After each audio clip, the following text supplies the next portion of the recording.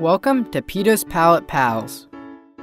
With a hands on artistic experience, children ages 6 to 12 learn to create art in the style of John F. Peto and other famous artists. The program gives children the opportunity to explore different areas of art and can be a life changing experience for them. Here, the children are provided with a number of pictures, colors, and paints that allow them to create a piece of artwork that is unique to them. This program is run on behalf of the John F. Peto Studio Museum in Island Heights, New Jersey. The museum displays the artwork and memorabilia of the former artist John F. Peto in the home he used to live in. John F. Peto was he was a trompe l'oeil artist, which is a still life artist, um, specifically trying to fool your eye with realistic objects. Peto's Palette Pals was a project developed in partnership with the Historic Artists Homes and Studios program of the National Trust. Uh, we decided to partner with the Ocean County Library on this project because they have the ability to reach out to all of Ocean County with their schedule of events.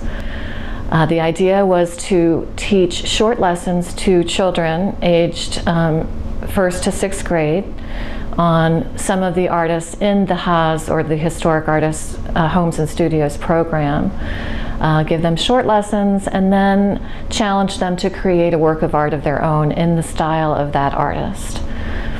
What's great about something like Palette Pals is it's actually tied right into um, real ideas about the history of art making, what kind of people make art, where they make their art, what kind of materials they use, what kind of forms it is, and all of them working in different periods, all of them working with different kinds of materials, all of them working in um, different sort of what we call modes of expression, and so it gives the the those who are participating a chance to explore these different ways of making arts. And I think what was also really strong about this program in particular is that it tied all of that back. Uh, used Peto as a jumping off point, but then it tied it all back to where Peto lived, which was in the state of New Jersey. You know, the fact that John F. Peto worked there, lived there, created amazing artwork there, and I believe in keeping his spirit alive.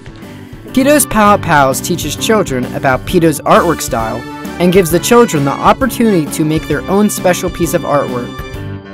And the children really had a lot of fun. And when they were finished with their little lesson and their art, they had something to take home. And that was really wonderful to see. So the library has had a lot of fun with the Peto Museum and this project. And we're grateful to have watched it unfold.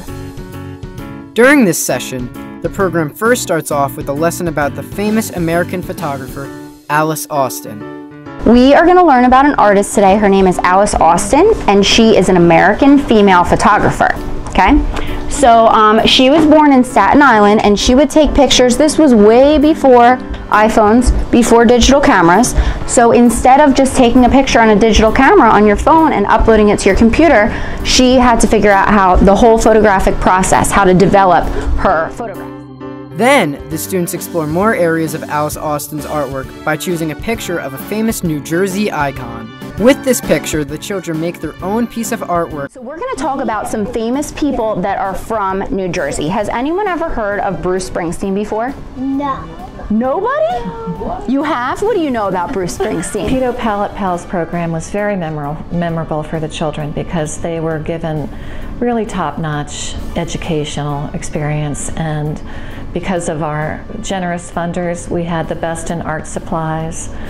Um, they were given true direction in what kind of masterpiece to create with a visual um, introduction to that. And the imagination and the talent that these children showed was not to be believed.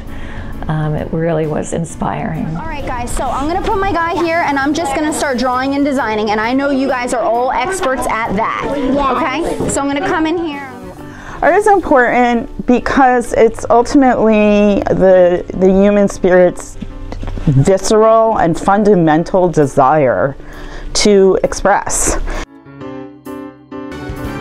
If you would like more information about Peto's Palette Pals, or the John F. Peto Studio Museum, then visit the websites today.